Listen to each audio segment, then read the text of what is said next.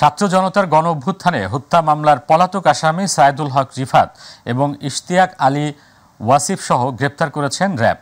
RAB সাতের senior সহকারী পরিচালক শরীফুল ওল আলম জানান পিসিপিআর যাচাই করে গ্রেপ্তারকৃত আসামিদের বিরুদ্ধে চট্টগ্রাম মহানগরীর বিভিন্ন থানায় মারামারি, অস্ত্র ও হত্যা চেষ্টা সংক্রান্ত আটটি মামলার তথ্য পাওয়া গেছে।